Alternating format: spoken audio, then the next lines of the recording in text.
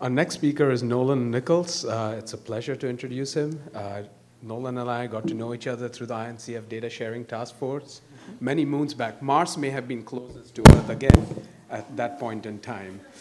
Uh, sure. And Nolan has done an incredible set of work over the years on trying to represent these ontologies in various biomedical spaces, and then he's gone over to the other side uh, and I have no idea what he does. So today we are going to hear and find out about what he does on the other side. I hear it's something related to metadata. Yes, yeah, we'll get into metadata. I'll be in hopefully I'm in the right session. Um, so hello everybody, and, and, thank you for inviting me to come present today. It's quite exciting to be here. I really see a lot of um, familiar faces, and I haven't been to this conference in a couple years, so it's really great to be invited back um, to share what I'm up to. And so, um, as Satra alluded to, so I'm now uh, have moved to the other side and now working in, in industry in this company called Genentech, which is a member of a broad organization um, called Roche.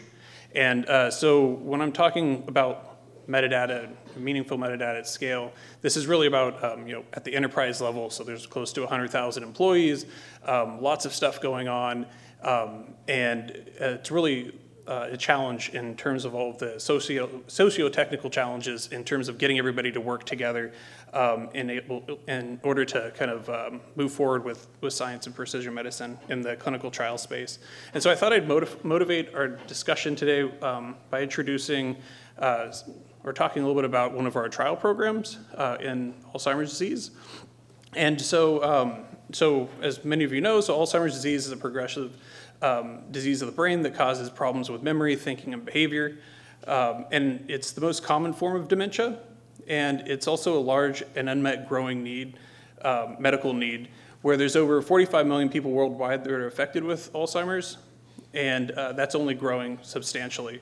And so we desperately need some form of medication to treat uh, these patients uh, and not only uh, treat the patients, but also relieve the caregivers that um, are spending money out of their own pockets and spending their time uh, and um, to be able to take care of their, their loved ones. And so, um, so in order to uh, kind of address this issue, one piece that we'll, we'll talk about is that there um, a little bit of the biology behind uh, the biomarkers and understanding how Alzheimer's progresses is that um, here we have like a popular framework uh, or model around how AD biomarkers that uh, help to do in vivo staging of the disease. And so uh, this model uh, focused on five of the most well-known biomarkers, uh, which can be divided into either measures of uh, brain amyloid beta, deposition, and measures of neurodegeneration. And so the major AD biomarkers become abnormal in a temporally ordered manner, where CSF A beta and amyloid PET are dynamic earliest in the disease, uh, followed by CSF tau and uh, FDG PET, followed then by structural MRI, and then followed by clinical symptoms. And so um, the biomarkers that are denoted as upstream uh, are neurodegenerative biomarkers, whereas those that are downstream um, are considered uh, more on the clinical side. And so um, so within this framework, uh, so right now most of the treatments for Alzheimer's disease are focused on treating the symptoms. Uh, but the general consensus is that earlier treatment is considered to be uh, key in order to prevent or delay the onset of neurodegeneration. And so um, when developing some therapeutics for intervening in this disease, uh, one thing to be aware of is that um, these amyloid plaques are considered to be a key, uh, key feature in the pathology of AD.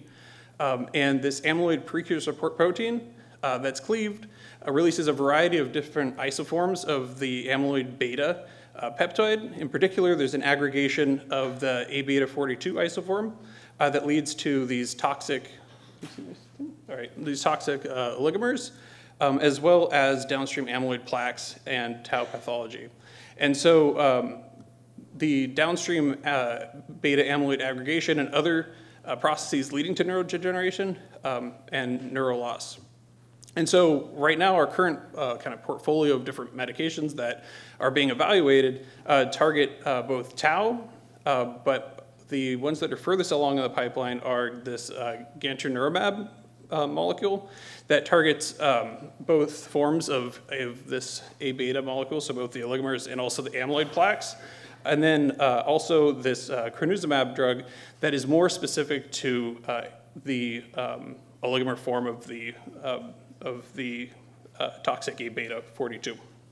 And so I'll be talking, uh, introducing just a little bit of background about our crenezumab plan, our program, uh, and in particular the, the phase two program that, that I'll be discussing kind of in the context of, metadata to some extent. So, um, so there are two programs. So there's one that is a cognition study called ABBY. So this is a larger study, and a second one called BLAZE. And so this is a, a smaller biomarker study. So the enrollment criteria for these two trials uh, focused on moderate or mild to moderate AD uh, where patients that were enrolled were between 50 and 80 years old. Uh, and there were two different arms for both of these trials. So one uh, used a subcutaneous dose of 300 milligrams uh, every two weeks, and the other one was a higher dose that was administered uh, intravenously at uh, 15 milligrams per kilogram every month. and so this is about a two and a half fold higher um, exposure. And the primary readouts were done after 72 weeks. And so um, the primary endpoint for the ABBY cognition study was a change in the ADAS cog, as well as the uh, CDR sum of boxes. And for Blaze, this was primarily um, imaging, medical imaging related. So this was a, a, a PET readout. And so, um, so I'll be focusing just on the ABBY study here and this cognition um, piece of this. And so, um, so in the overall population, uh, the primary endpoint here was not met for this trial, so for this readout. So um, but if you look at the uh, low dose versus the high dose, there was a trend that the high dose may have some kind of, of uh, treatment effect, suggesting that a higher dose may be better. Uh, and if we go and look um, in a pre-specified subcohort within this trial and look at progressively um, milder subsets of patients, uh, we can see that the drug uh, might be working, but the patients would need to be treated earlier um, with a higher dose. So here you can see that you know, early, if you look at uh, patients across the whole spectrum between with MMSE from 18 to 26 uh, score, uh, we have a 16.8% effect, uh, whereas that grows up to 23.8 and finally a 35% effect. Uh, and so while the primary endpoints were not met, uh, this still suggested that crenezumab may have may have some kind of an effect, and this is consistent what's being, with what's being seen in other uh, anti-amyloid studies that are being reported from other uh, pharmaceutical companies. And so, uh, so from this, the decision was made to still continue moving forward with the phase three program, uh, and also evaluate what the higher um, what higher doses were safe in a smaller study. And this would be done in a more prodromal to mild population of patients. And so, um, as part of this trial, we went, we did kind of a post hoc analysis and looked for trends within the data that would give us some degree of evidence that we would be able to move forward in the program. Um, however, as part of the trial, there's also all of this other auxiliary data that's created. So you have all of the different patient visits, all the vital signs, um, other types of biosamples and imaging data that wasn't really included in this clinical, this analysis in order to be used to move forward just with the trial. And so there's kind of this left hanging question, and this isn't just for Alzheimer's, but really for you know, all the studies that are being conducted, whether they're you know, um, clinical studies or clinical trials um, in other therapeutic areas, is really like how can we reuse these data uh, in order to find actionable insights that either allows us to identify new targets or biomarkers or just even understanding the core uh, biology of these diseases. And so um, so if we look at precision medicine, traditionally the uh, approach within clinical trials is you have early research and developments that identifies a target and a molecule, and this is used uh, then to go through a series of preclinical and clinical trials, and if that medication makes it uh, into, um, you know, uh, makes it through the trials, it'll then be end up in pra clinical practice. Uh, however, this is a very rich source of information um, that was traditionally not really reused. And so there's this concept of um, repurposing the data, referring to this as reverse translation, where you take the results of the clinical trial and all the samples and other information and feeding it back into research and development. And so uh, while this is you know, may sound like something that has been done frequently within academics. In the clinical trials world, um, these two parts of the organization really have been uh, separated. And so this is still kind of a new, new-ish idea over the past few years around how do we actually operationalize uh, reusing clinical trials data and putting it into the hands of bioinformaticians and data scientists. Uh, however, uh, if you take the data from a clinical trial and go and hand that over to the data scientists and bioinformatics folks that are sitting in research that have never seen uh, this type of data before and don't really understand how clinical trials are designed, et cetera, um, you're going to end up seeing they're going to have a hard time actually using that data. And so this is um, a figure from a Forbes article that was that came out a few years ago that talked that surveyed um, data scientists and tried to uh, or asked them kind of where they spend their time. And so you can see here that they spend you know, 20% of their time collecting data sets, and then you know, another 60% just trying to clean them up and make them reusable before they get to the fun part of actually doing their data analysis and, and training their models. And you know, I'd argue that probably within biomedical sciences, it might even be more than 80% that you spend uh, trying to get your data, wrangle it, and actually use it. And so, um, so we have this kind of question of how do we pay this price only once? And uh, push all this data curation and integration up front so that the people that are trained to do analysis can get directly to work. And so that's where we introduce uh, this, this concept of FAIR. And so as we heard uh, in Michelle's talk, um, FAIR is really providing the, the, uh, the, principles around which we can uh, make optimal reuse of data. And so, um, so interestingly, the FAIR principles have really made their way also into industry. And so uh, this is something that Roche-wide, uh, the FAIR principles have been like a rallying cry that I see in like all of our internal presentations where it's like they discuss needing to make data fair and the FAIR principles are really the, um, like the, the, the, the, war cry around how we can be better stewards of our data uh, to the extent of which is that there are internal like uh, projects where we've hired internal uh, data curators and integrators and created a variety of, of new positions that are focused just on making data fair. Um, and so just briefly uh, to go over kind of where some of these challenges arise and kind of where these um, where, where the FAIR principles are actually being applied. So um, as you guys probably already know, so clinical trials have generally have are multi-site. So we have all these sites that uh, generally collect a variety of different types of data uh, that go to different vendors that provide certain types of analyses or run assays that then get fed uh, back over to us uh, through these different vendor services. And uh, these are fed into either like our sample biobanks, uh, where we keep track of the actual physical samples, um, or the actual uh, assay results or imaging analysis results uh, that then go into in more of like a CSV or like tabular form into a clinical data warehouse. And so when these data come in, they're in a very raw form, and they um, are not ready for analysis. And so the idea of being able to make these analysis ready means that we need to harmonize them and bring them under uh, certain metadata standards.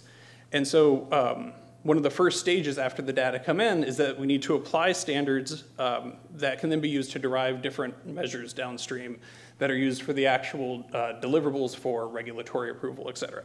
And so the standards that are used are uh, called CDISC. And so as of uh, December of 2016, the FDA requires that any uh, regulatory filing must follow the uh, CDISC standards. And so this is very much the kind of stick approach where it's like you, you shall follow the standards. And so this has helped and forced adoption of uh, metadata standards within um, the pharmaceutical industry. And so um, the idea then is that for clinical scientists that are working with the data that are part of a, a trial, uh, that the data is, is more or less fair and follows these standards. But you might ask kind of what is CDISC and you know, kind of what is this, this framework?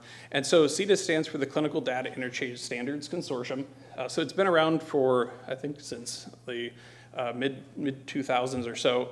Uh, and it really is a framework that covers a broad spectrum of different standards here. So everything from planning a trial uh, for the, so the protocol and study design through the actual data collection that's sent in through different vendors, um, as well as data tabulations. Uh, so these are kind of the core like, workhorse of what we actually end up using. Uh, and so this is the, the SDTM standard, as well as uh, data analysis standards, where the, the data is basically organized in a way that is um, that's specific for different uh, deliverables and figures uh, that are part of the clinical trial milestones. And so just to look a little bit um, closer at the SDTM standards, so SDTM is broken down into a variety of different implementation guidelines. Uh, so for medical devices, tabulations, or people that are actually not participating in the trial, but are the people surrounding them. So these could be family members or uh, physicians, et cetera. And then there are more uh, domain-specific standards that describe how to collect data around questionnaires uh, or pharmacogenomics information and uh, therapeutic extensions that go into areas like Alzheimer's or asthma, et cetera. Uh, in addition, there are also um, a set of controlled terminologies that are allowed to be used. And so looking at the core SDTM uh, implementation guide, we have um, a variety of different classes and each of those classes have uh, what are called the different domains that model specific types of, of um, data sets. And so these classes go from special purpose, which will be something like demographics, or to these three different classes of general observations, which go into interventions or specific events or findings uh, that have um, their own specific descriptions around what's important to be captured, as well as other kind of auxiliary pieces like findings, trial design, and also relationships between data sets. And so looking at an example of one of these, so the data that comes in to uh, our organization from uh, the different sites uh, may be organized kind of like this, um, this lab test results here at the bottom. So we may have a study number um, that we can map over directly. Uh, we may have some patient identifier where we need to modify the header or the column name. Uh, but then uh, also modify the value. So just here it's just removing a dash, but it might, could also be applying some other type of transformation. Um, and then you can see that these other fields also map over. But in addition to those mappings, we also include additional codes. So here we have basically key value pairs where uh, you have the lab test name, uh, what category it's in, the units that it was collected with, um, as well as uh, being able to bring in knowledge from, from outside, so from the World Health Organization or other places uh, that say like what that value is, um, what the low range is or the high range. And so really this is kind of augmenting the data that you receive with additional information that can be used to automate downstream analyses um, and speed up our ability to, to generate deliverables and results. Uh, however, uh, across a large organization like this, how are you able to uh, pull all this information together and um, and be able to follow like the same common guidelines? And so, really, this what this comes down to is data governance and being able to have a metadata repository, so a core location where everybody references for the, the gold standard of how to represent information. And so internally we have something called the uh, Global Data Standards Repository. And so here we are able to model each of, the, of these SDTM domains. Um, so it has all of the different classes that we can access as well as what the applicable or, or valid values are for each of the fields. Um, and then also breaks down for each of the kind of columns, like exactly what the scheme is that you're allowed to use. Uh, and furthermore, we uh, create releases of these standards, and so that uh, when you have some specific trial, they have to use specific uh, versions of the standards. Um, and this whole metadata repository is actually kind of interestingly modeled in a fair way, so it, it also uses um, kind of linked data or RDF in the background, uh, and is natively like a, a what's called a triple store that models all of this relative information. So all the terms, IDs, and versions also have these URIs or unique identifiers that can be referenced. Uh, and so um, in addition to this, uh, so that's part of the actual clinical trial process. But for discovery-based research, we need to be able to take um, not just these uh, clinical measures and be able to pull those over, but we also want to take the biological samples from these studies and be able to feed those back into research for other uh, exploratory assays. Uh, and we want to be able to provide those uh, to the bioinformatics scientists in data structures that they're familiar with and able to use. And so we can uh, pull both the clinical data that's already been harmonized and follows these uh, nice standards uh, into, um, into a, a, data structure that we can then provide to bioinformatics scientists in a fair way. Um, and the, the data structure that many of these folks are used to using, at least within our organization, uh, follow uh, something from uh, a group called, uh, or a organization called Bioconductor. And so the idea is that we can eliminate this 80% of time of cleaning all the data sets up by using these curators and integrators that pull the data sets together into these nice, um, concise data objects, and they can start with their analysis right away. And so we may have a variety of analysis type or uh, assay types like RNA-seq, uh, nanostring, or fluidigm uh, that can be integrated into these multi-assay experiment objects and so these are data structures that provide all the methods uh, for manipulating and integrating um, multiple assays for, in this case, a given clinical trial, so that you have efficient way to construct these uh, in subset and um, as well as a variety of other types of analysis, so like survival analysis and other tools that can operate on top of these objects, as well as building dashboards and interactive apps uh, using tools like Shiny. And so, um, you know, but doing this is hard. It's not something that is done, um, is, can be automated. So it's really something that is, is highly custom, and you have people that have to go in and do manual quality control, make sure all the pipelines for the assays are following the same uh, versions, as well as mapping all of the different identifiers, which is extremely challenging. And so what we want to be able to do is provide the consumers of these data um, so that they can trust them and be able to reuse them, and also discover what data is available and what results are being provided. And so along these lines, so we developed a, uh, a system internally that we call GREX. And so what is this? So it's a system for uh, recording, tracking, storing, finding and retrieving computational results, including data and these uh, multi-assay experiment objects uh, in a fair manner. And so the key goal is really to apply the FAIR principles, uh, but applying them to uh, generated exploratory and also one-off types of, of, analyses. So not something that can be like incorporated into a standard uh, pipeline. And so there's our, our logo. So it has a dinosaur because dinosaurs are cool but also um, because the idea is we want to be able to leave behind uh, this kind of like archaeological record of all the information that went into constructing both data and results that people can then you know, unearth later and use. And so um, GREX is based upon four pillars.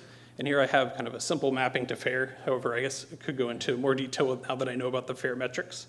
Um, but we have um, the kind of core piece is just an archival system where we can store a standard uh, directory structure of the data that's being um, produced along with metadata. Um, a provenance pillar that is used to basically create uh, relationships in a graph around how the different results of data are connected. A discoverability portal for being able to find, find data. Um, and also this other component of reproducibility where we can take the code and data um, and environment that's submitted and be able to reproduce or, or, provide certain guarantees that the object you're consuming uh, was actually constructed um, by the system and could be reproduced. And that, that piece, um, you know, my next point, is that the R in, in FAIR is not for reproducibility. And so GREX really provides um, some extensions and additions to FAIR where we want to be able to intrinsically link code uh, and results and also be able to um, include all the versions that went into producing uh, some piece of, or some results. So, um, so that you'd be able to reconstruct the environment for later uh, reproducibility. And furthermore, the client that we're using uh, is able to do some, some smart things in terms of introspecting the objects that are being created uh, and be able to um, generate metadata that, um, that really describes exactly what took place during um, the construction of some data set. And the reproducibility part is something we're still working on, uh, but that's uh, also uh, something we're developing. And so just to give you an idea of like how this information flows through the system, uh, so there's an R client that uh, primarily works on right now is within um, R Markdown. And so you can take an R Markdown file, so this is a description of both the code and also the narrative along how either a piece of data or result is being uh, integrated or created, um, and then uh, submit that into the system where it constructs something we're calling a client bundle, uh, where it has all the metadata for the versions of R, um, all the code, you know, who's doing the submission, um, and all this other um, information of the actual data objects. Or for RMD, it will also include like the uh, HTML files, so you'll be able to see the report. And so this is handled by a controller uh, that then stores this in the archive, um, and also, uh, so the metadata that's constructed uses something called JSON LD. And so that's loaded into a provenance uh, triple store. So this is represented as a graph. So this will allow us to link across different R sessions for the objects that are being um, submitted to the system. Uh, and then also a publication step where all this information is made available, where the dis this discoverability portal is able to query and download, uh, query the provenance and also download those results. And then we have just a small, um, a couple screenshots of that. And so this is um, just kind of like one of the one of the like early interfaces of what the system looks like. And so this provides you just like some simple facets like you're used to being able to see. Um, it also provides free text search and, um, well, free text search and, and pretty much any, any, search that the Solr search engine um, that uh, supports. And uh, all of the results that are submitted get a unique identifier that's based on a hash. Um, and then also metadata that's actually extracted from these R objects themselves. So if you submit a plot, it can go in and grab the title and the axes and, and other related metadata. And for these multi-assay experiments, it can also read out the, um, the actual variables that are consistent with this uh, CDISC standard.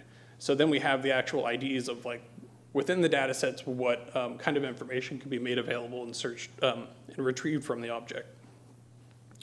And then for, um, yeah, and then just for like an individual result, um, it has links to be able to download these. Um, eventually, we'd like to include links to other data sets that may be related uh, to the one that was submitted, and then also the code that, um, the actual exact code that was used to submit the object. So we actually traverse the kind of execution, execution path of all the top level functions and provide a description of what called what. So you actually know exactly what code was executed uh, to submit that object. Cool. So, um, so the, the GREX platform implements uh, some of the FAIR principles. So we, we store results and associate metadata uh, with persistent IDs. Uh, we make them findable and accessible. And we're partially interoperable using this JSON LD standard. So we map to some public um, uh, uh, vocabularies such as you know, schema.org or DCAT um, for describing the data sets themselves as well as the prov ontology and uh, we also make these data sets reusable uh, through these R packages called histry and tracker. And so these two tools are the kind of smarts behind the client that does all the metadata extraction. Uh, and so it really just, these are used to really describe um, exactly what took place during the session. And um, so that's kind of the summary of, of, where GREX is at. And so I'll add here uh, that um, so out of the, the bioinformatics group, so both these, uh, the histry and tracker packages um, are shared, so those are open source tools. And um, along with that, there are probably 36 or so other packages out of the group that have made their way onto Bioconductor's open source tools. And uh, with that, I wanted to segue over to this talking a little bit about, um, you know, I've talked about how we're processing data, making it available for our internal sharing, but there are also some external sharing efforts that I wanted to make you aware of. So one is something called the Clinical Study Data Request uh, website. And so this is a collaboration across um, several different clinical trial sponsors to make the actual patient level data available uh, to external researchers. And so this uh, also has a website. And so if you go and browse this site, um, you can view over 3,800 trials from across these different organizations and submit requests to be able to download the patient level data uh, and use them in your research. And so at Roche alone, there's a little bit over 200. And so this number is going to continue to grow. And, and there's a lot of internal um, uh, kind of effort to go into making these data available to the um, outside community. And that's seen as, as something that's valuable to contribute back. And along those same lines, and to link back to the Alzheimer's uh, story that we started with, so the Alzheimer's uh, Pre uh, Prevention Initiative, so this is something headed by the Banner Institute, uh, so we have a collaboration with them for this Colombia trial. So this is um, a study of, it's actually closer to 250 patients um, that are enrolled uh, that uh, have this um, familial early onset AD. So this is um, essentially all the people that are in this trial will get Alzheimer's disease at some point in their life. And so uh, we're enrolling people as early as 30 years of age. And so they're taking our, this crenezumab uh, drug starting early in life, and then we're looking at other primary points in terms of cognition and imaging uh, to understand if we can delay the onset for, for, of Alzheimer's disease for these folks.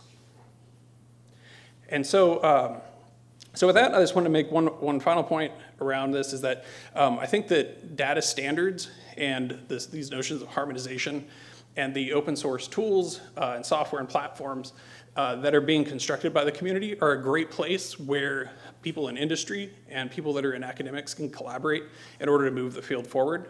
Um, there may be you know, competitive space in the actual development of molecules, but um, in terms of uh, you know, actually collaborating on um, projects like CDISC, which, were, which Roche is an active contributor to, um, I think that that is something where we can you know, contribute and move the whole field forward.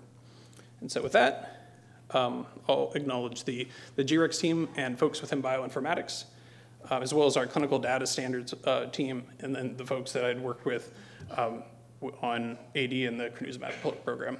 And with that, I can take any questions.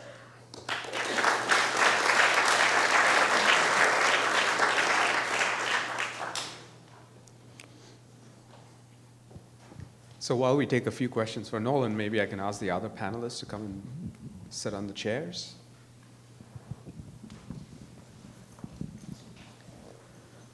Nolan, uh, that was a great talk.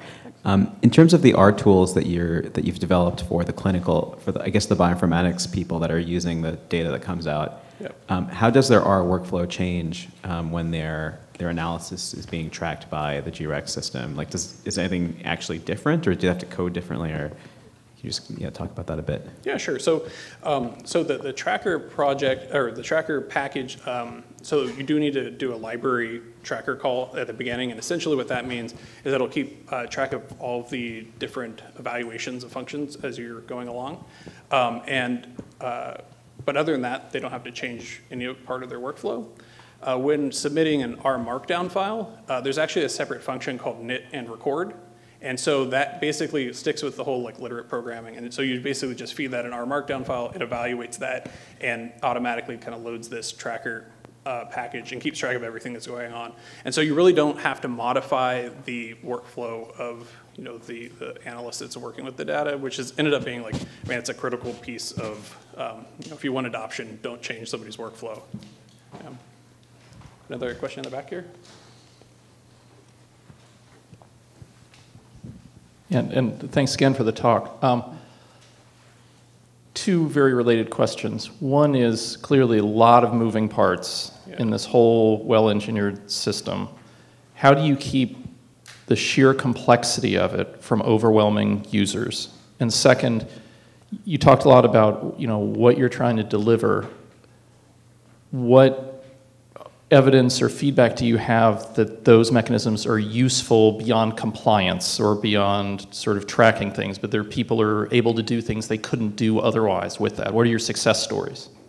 Yeah, so so on the the first part, yeah, I mean it, it is very um, it is very complex, and so mainly the way that we've done this is by scoping down um, to specific use cases. So we'll use like cancer immunotherapy, and we'll just focus just on a GREX that supports the use cases that are around um, that specific project.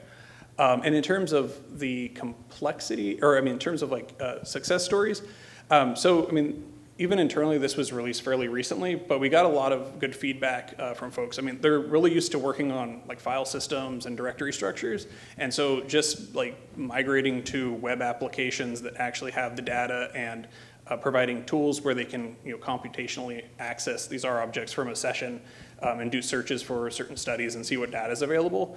Um, that's still like a step forward from where they're kind of currently coming from. And so from what we're hearing back, yes, um, they, they support it, but there are a whole bunch of other issues around data versioning and, you know, uh, people will identify, oh, there's an issue with, you know, this data set and we have to go back and, and redo it. And so, um, so that there are challenges that are unsolved there, but, um, you know, I've been learning too from other projects that are similar to this, um, even here at this conference and trying to understand uh, what the best path forward for doing like data versioning and other types of things as well.